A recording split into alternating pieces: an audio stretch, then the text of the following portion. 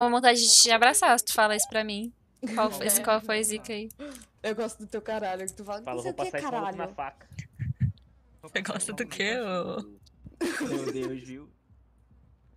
Isso Tá, foi esquisito, viu? Ah, é, eu tenho Caramba. que... Não, depois de hoje, filho de uma puta virou um vocabulário, né? Que foda. cada vez que eu vi alguém falando filho da puta hoje, tá... Não, mas tu tem uma mente, Cade. Não, mas fica meio complicado.